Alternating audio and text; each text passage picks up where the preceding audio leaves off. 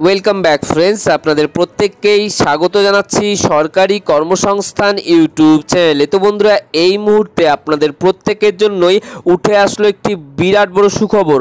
অবশেষে সারা বিশ্বকে তাক লাগিয়ে রাশিয়া আবিষ্কার করে ফেলল পৃথিবীর প্রথম করোনা ভ্যাকসিন, যা ইতিমধ্যে কিন্তু সফলভাবে প্রয়োগ করা হয়েছে। তো বন্ধুরা, সেই নিয়ে একটি বিস্তারিত আপডেট আমি আপনাদের সাথে শেয়ার করতে যাচ্ছি, যে কবে নাগাদ মার্কেটে আসতে চলেছে এই করোনা ভ্যাকসিন সাধারণ জনসাধারণের জন্য এবং ভারতে কবে থেকে পাওয়া যাবে, কত টাকাই বা মূল্য, সমস্ত কিছু আপডেট এই ভিডিওতে আপনাদের সাথে শেয়ার করব। তার আগে আপনাদের কাছে একটি রিকোয়েস্ট যদি আপনারা এখনও পর্যন্ত আমাদের চ্যানেলটিকে সাবস্ক্রাইব করে না থাকেন, তো চ্যানেলটিকে এখনই সাবস্ক্রাইব করে রাখুন। পাশে দেওয়া বেল নোটিফিকেশনটি অন করে দিন। ভবিষ্যতে এই ধরনের লেটেস্ট আপডেটগুলি সর্বপ্রথম পাওয়ার জন্য। তো চলুন বন্ধুরা, দেরি না করে মূল আপডেটে চলে যাই। বিগ ব্রেকিং বিশ্বে প্রথম করোনা ভ্যাকসিন আবিষ্কার। পুতিন কন্যার দেহে সফল প্রয়োগ। লাফিয়ে বাড়ছে করোনা সংক্রমণ। করোনা ভাইরাসের আতঙ্কে জোরবার গোটা বিশ্ব। গোটা বিশ্বই এতদিন অপেক্ষায় ছিল কবে ভ্যাকসিন বাজারে আসবে। এবার গোটা বিশ্বের সাধারণ মানুষের আতঙ্ক কাটিয়ে বিশ্বে প্রথম করোনা ভ্যাকসিন আবিষ্কারের দাবি জানানো রাশিয়া। তবে বিশ্ব স্বাস্থ্য সংস্থা এ বিষয়ে এখনও কোনো মন্তব্য করেনি। করোনা আবহে বড়সড় সুখবর শোনালো রাশিয়া।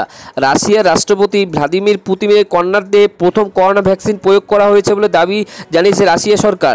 টিকা প্রয়োগের পুতিন কন্যা সুস্থ আছেন বলে জানিয়েছে সংবাদ সংস্থা। custa করোনা টিকা আবিষ্কারের দাবি জানানো হয়েছে রাশিয়ার তরফ থেকে। ইতিমধ্যে বিশ্বের প্রথম করোনা ভ্যাকসিনে অনুমতি দিয়েছে রাশিয়ার স্বাস্থ্য দপ্তর। প্রথম ভ্যাকসিনের ছাড়পত্র মেলায় আশার আলো দেখছে গোটা বিশ্ব। আগামী সপ্তাহ থেকে এই ভ্যাকসিন বাজারে চলে আসবে বলে জানিয়েছে রাশিয়ার প্রেসিডেন্ট ভ্লাদিমির পুতিন। এই ভ্যাকসিন নিরাপদ, কার্যকারী দাবি করেছে রুশ স্বাস্থ্যমন্ত্রী।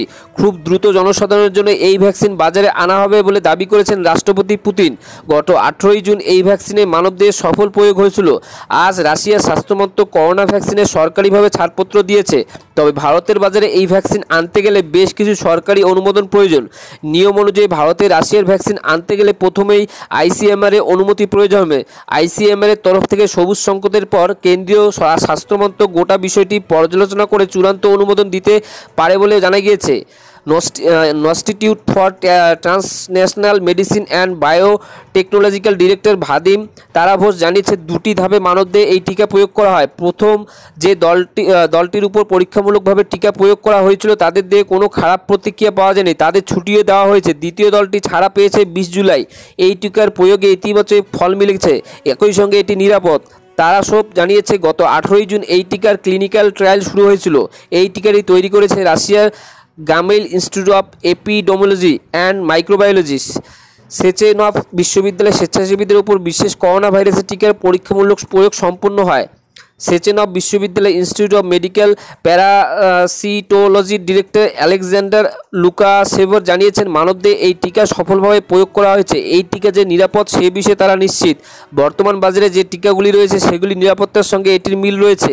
Gamaleya centre director Alexander Gintsburg সংবাদ মাধ্যমকে জানিয়েছে, তারা আশা করছেন আগামী সপ্তাহ থাকতে ভ্যাকসিন নাগরিকদের জন্য চলে আসবে। আগামী মাস থেকে গণহারে ভ্যাকসিন দেওয়া হবে। তো বন্ধুরা, এই ছিল এই মুহূর্তে আপনার জন্য করোনা ভ্যাকসিন নিয়ে একটি লেটেস্ট আপডেট যেটি আমি আপনাদের সাথে শেয়ার করলাম। ধন্যবাদ পুরো ভিডিওটি দেখার জন্য।